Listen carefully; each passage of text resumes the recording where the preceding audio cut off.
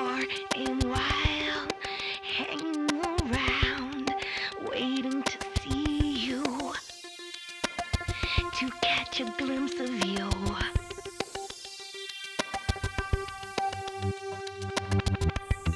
If you don't look beyond the crowd.